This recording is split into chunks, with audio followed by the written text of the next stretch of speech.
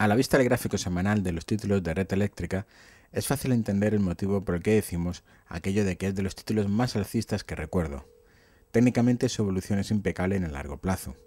Desde 2009 hasta el día de hoy, el subyacente ha estado construyendo mínimos y máximos crecientes, o lo que es lo mismo, se encuentra dentro de una clara tendencia alcista.